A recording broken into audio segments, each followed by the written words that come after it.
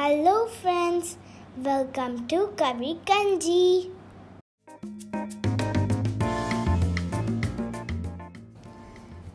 இன்றைக்கி நம்ம பார்க்க போகிறது ஒரு மசாலா டீ. இது எப்போதும் குடிக்கிற டீயை விட ரொம்ப டேஸ்ட்டாக இருக்கும். ஒரு தடவை இதை டேஸ்ட் பண்ணி பார்த்துட்டிங்கன்னா டெய்லி உங்கள் வீட்டில் இந்த டீ தான் ட்ரை பண்ணுவீங்க. ஏன்னா அந்தளவுக்கு ரொம்ப நல்லாயிருக்கும் இந்த மசாலாவை நீங்கள் அரைச்சி ஏர்டைட் கண்டெய்னரில் ஸ்டோர் பண்ணி வச்சுக்கலாம். ஒரு ஒன் மந்த் வரைக்கும் கூட யூஸ் பண்ணிக்கலாம். நல்லாயிருக்கும். ஆனால் என்ன தான் இருந்தாலும் அப்பப்போ ஃப்ரெஷ்ஷாக கொஞ்சம் செ மசாலா செஞ்சு போடுறது தான் ரொம்ப நல்லாயிருக்கும். இந்த ரெசிபி பார்க்குறதுக்கு முன்னாடி இது வரைக்கும் நம்ம சேனலை சப்ஸ்கிரைப் பண்ணாதவங்க சப்ஸ்கிரைப் பண்ணுங்கள் இந்த ரெசிபி பிடிச்சிருந்துச்சுன்னா லைக் பண்ணுங்கள் ஷேர் பண்ணுங்கள் இப்போ மசாலா டீ செய்யறதுக்கு தேவையான பொருள் என்னென்னு பார்த்துடலாம். ஒரு துண்டு இஞ்சி ஒரு நாலு புதினா இலை மூணு ஏலக்காய் ஒரு ஏழுலேருந்து எட்டு மிளகு மூணு கிராமு ஒரு இன்ச் அளவுக்கு பட்டை. இப்போ நான் சொல்லியிருக்க அளவு வந்து மூணு டம்ளர் அளவுக்கு மசாலா டீ செய்யலாம். நான் மசாலா ஐட்டம்லாம் லைட்டாக நல்லா தட்டி வச்சுருக்கேன். பட்டை கிராம்பு ஏலக்காய் மிளகு இஞ்சி எல்லாத்தையும் ஏலக்காயில் நல்லா அந்த சீட்ஸ் எல்லாம் நல்லா நசுகுன மாதிரி நல்லா தட்டி எடுத்துக்கோங்க. ஒன்றரை கப் அளவுக்கு தண்ணி வச்சுருக்கேன். அது கூட இப்போ நம்ம தட்டி வச்சுருக்கிறது ஐட்டம்ஸ் மசாலா ஐட்டம்ஸ் எல்லாத்தையும் ஆட் பண்ணிடலாம்.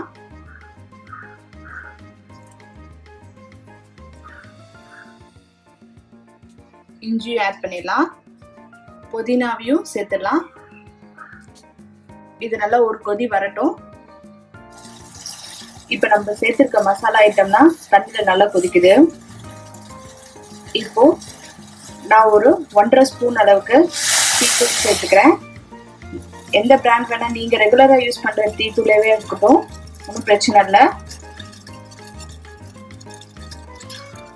நல்லா கொதிக்க விடுங்க. அப்போதான் இந்த மசாலா எல்லாமே நல்லா இறங்கும்.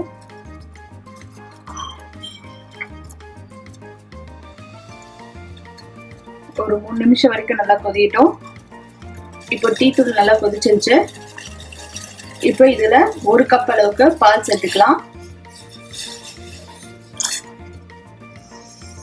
பால் சேர்த்ததுக்கப்புறம் கொஞ்சம் லைட்டாக கிளறி விட்டுக்கோங்க. பொங்க பொங்க கிளறி விட்டீங்கன்னா டேஸ்ட் ரொம்ப நல்லா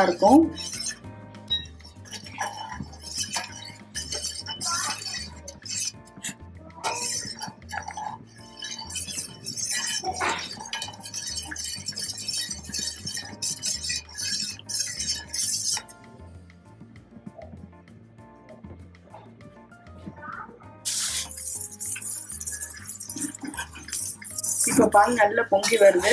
நல்லா கிளறி விட்டுக்கோங்க. இந்த டைம்ல நமக்கு தேவையான அளவுக்கு சர்க்கரை ஆட் பண்ணிக்கலாம்.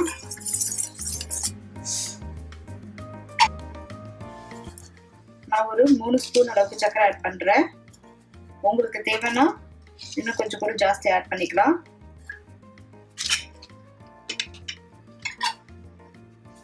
சர்க்கரை ஆட் பண்ணி நல்லா மிக்ஸ் பண்ணி விட்டுக்கோங்க.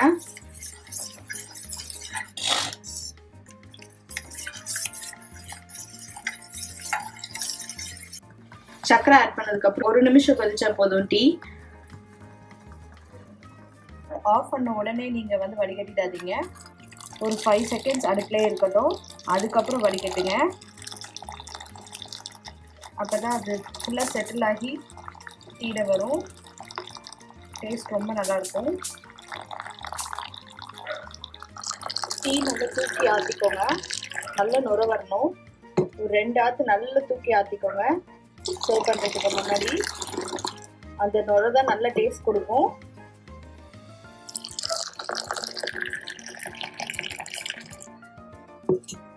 அதனால தான் டீ கடையிலலாம் நமக்கு நல்லா ஆற்றி தராங்க